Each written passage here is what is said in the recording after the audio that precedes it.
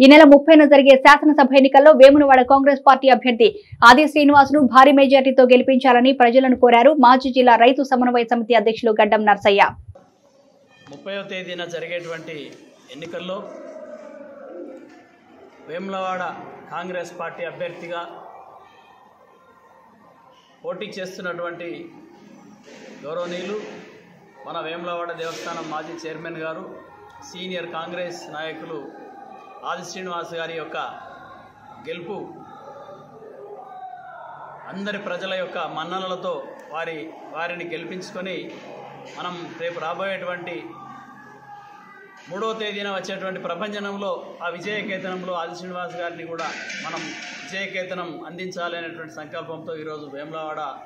పట్టణంలో విలేకరుల సమావేశం ఏర్పాటు చేసుకోవటం జరిగింది. ఈ సమావేశంలో పెద్దలు రాష్ట్ర గౌడ సంఘం నాయకులు లక్ష్మీపతి గౌడ్ గారు మహిళా కాంగ్రెస్ జిల్లా అధ్యక్షురాలు కాముని వనిత గారు ఎస్సీసెల్ జిల్లా ప్రెసిడెంట్ ఆకునూరి బాలరాజు గారు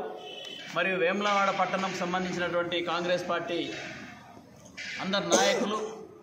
అందరు కూడా ఈ టీఆర్ఎస్ అంటే బీఆర్ఎస్ ప్రభుత్వంలో జరుగుతున్నటువంటి అన్యాయాలను ఆకృత్యాలను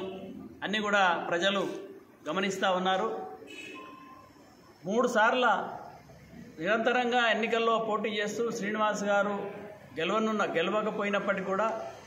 మడమ తిప్పకుండా